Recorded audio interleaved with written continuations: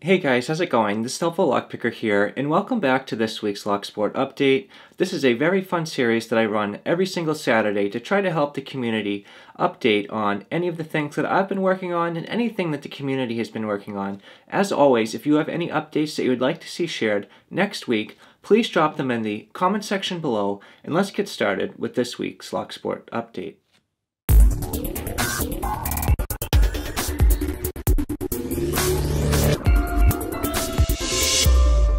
Thank you guys so much for checking out this week's Locksport update. If you happen to be new here, thank you so much for checking this out and subscribing.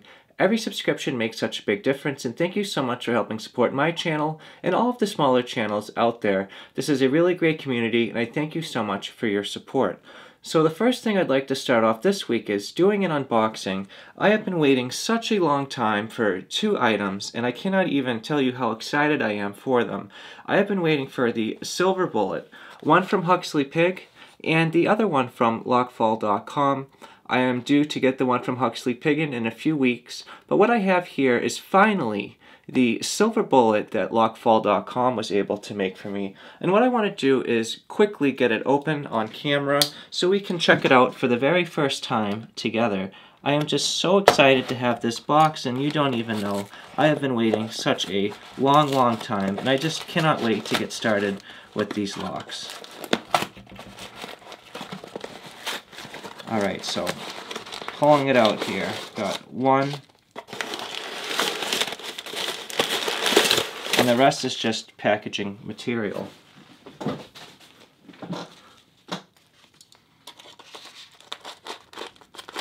And try to be very careful here.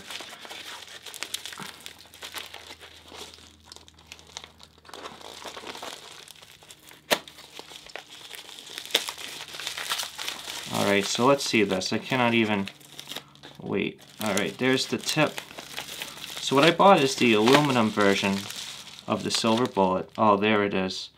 And then he also sent me a, another tensioning tip, which should be in this package here, because he said that the original one had a few issues, and he wanted to make sure that I was getting the best quality that I could. So what we have in here is the secondary tensioner. So I just want to take a really quick look at this. I still need to learn more about how it works, but what I'd like to do is give you a really quick first look at it. So, as you can obviously tell, this is a really beautifully made pick. He is starting to make them commercially so you can buy them.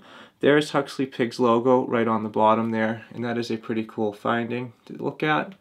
And then you can see all the decoding marks, and there are very specific ways that this will line up with which disc you're on, and then I believe it will tell you what kind of cut your lock has so you can pick and decode at the same time. This is such a really cool tool, and I need to get much more familiar with it. Hey everybody. Hey Helpful Lockpicker. Thanks for letting us stop by. This is Diggs from Lockpickers United and I'm just dropping in to let you guys know that we launched a video yesterday that has a giveaway of everything you see laid out here and a competition to win one of these silver bullets. So if you've got some time, drop on by, subscribe to our channel too, and um, check us out. Thanks. But I just want to say that I am so excited to have this pick in. And I just want to say thank you to lockfall.com for making it. And I'm certainly going to probably have quite a few questions getting started with this. But I am so excited to have this one come in. And then I am excited to have the one from Huxley Pig come in. But moving on on this week's Locksport update, I have a few things that I would like to share. The first thing is going to be it seems like the consensus on my question last week is should we do a top channel list and it seemed like it was a overwhelming no. Some people were for it, but the major concern is people might feel alienated or isolated, and we're just here to have fun, and we do not want to put any strain on anyone in the community. But what I'd like to do here is just see what your thoughts are on that. You can vote yes, no, maybe what I'm going to do is I'm going to put a card up on the top here that you can click on. You'll see it on the screen right now. And you can vote if you think doing a countdown video would be something interesting, but it would be something that I would want the community to put together for the list. Another thing that I'd like to share this week is going to be Lockmania. Lockmania has been doing every Saturday his Secret Agent Saturday. It is a video series where he picks open locks utilizing his James Bond set and then his jackknife set, and it's been interesting watching him see what locks he can get into. If you're not familiar with Lockmania already, he's a really great guy and a great member of the community. He's always given me great information to share in these updates. I just want to say thank you so much for everything you do. If you'd like to check a quick glimpse of the Secret Agent Saturday, what I'm going to do is roll a very quick clip for you right now. Hey guys, it is Saturday, so we are back at the pick set and the H&H jackknife. Last time we had a Master 140 with 4 pins, 3 spools. Today we have a Rockford 6 pinner with 4 spools and 2 uh, standard pins. Thank you so much for checking out Lockmania. If you enjoyed that clip and you'd like to see more videos by him, what I'm going to do is put a link on the top here so you can check out his channel and consider subscribing. A few more things Lockmania mentioned this week are two channels that have about 30 subscribers, and I'd just like to bring your attention if you'd like to check them out.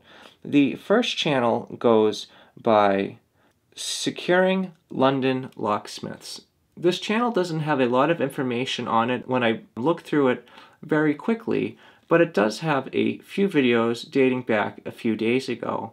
If you would like to check out this channel and see more, what I'm going to do is I'm going to roll a very quick clip of it right now. Hello YouTube, this is an ERA 5 lever curtain mortise lock. Uh, I'm going to um, single lever pick this uh, lock open and, uh, and then I'll show you what's inside. Okie dokie, so let me show you the bitting.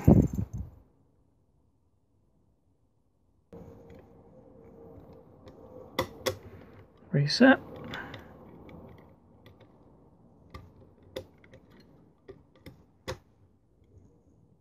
And we're open.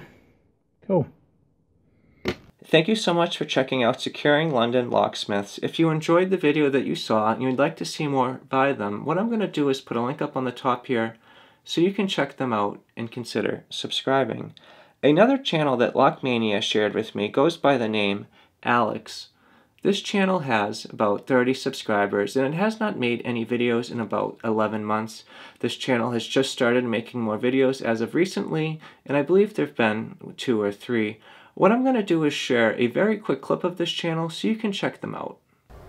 Okay, uh, so I got this weird, weird lock, and I want to share it with you guys.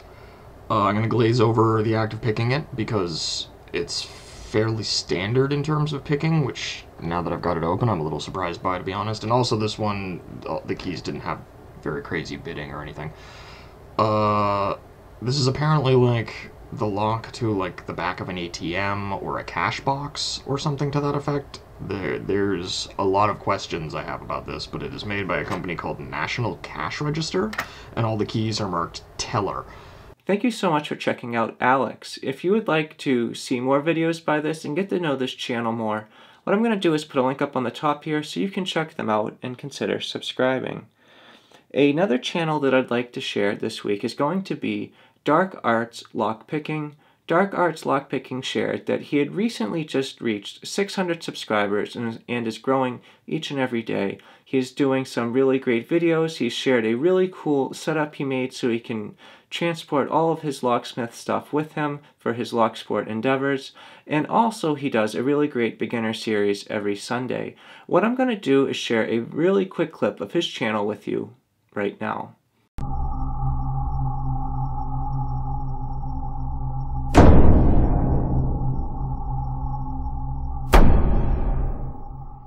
Guys so got this little rim cylinder here this one has got lock on it. It was sent in that parcel from Southampton Lock Picking Club and it's got some pretty good bitting I must admit uh, must be They said they were going to send one in to turn uh, some locks for me to turn to a challenge lock. But I grabbed this one down to have a look. And this thing refuses to stay locked. And I mean it refuses to stay locked. Thank you so much for checking out Dark Arts Lockpicking, also goes by DALP. If you enjoyed the video and you'd like to see more content by him, what I'm going to do is put a link up on the top here so you can check it out and consider subscribing. And a few things I'd like to share if you happen to be new and you're starting to check out some really great channels for the first time. Locknoob made a really good point at some of the great channels that were left out on the top 30 countdown. Some of them are tumbl3r, who is a complete legend when it comes to picking locks, Lockman28, Baldiloks, Red Cat Imaging, Daz Evers, Leon's Lockpad, Matt's Lock Pit, and many more. I just want to say that that list was not created by me, but it was just a really fun thing to do. I just want to say thank you guys so much for checking out this video. If you have any updates that you would like to see shared next week, as always, I highly encourage you to drop them in the comment section below, and I'll try very hard to share them next week. If you guys have any questions or suggestions, please drop them in the comment section below. And if you enjoyed this video and you'd like to see more like it, please subscribe. As always, thank you so much for checking out this video, and I hope you all have a great day. And thank you so much for checking this out. Thank you.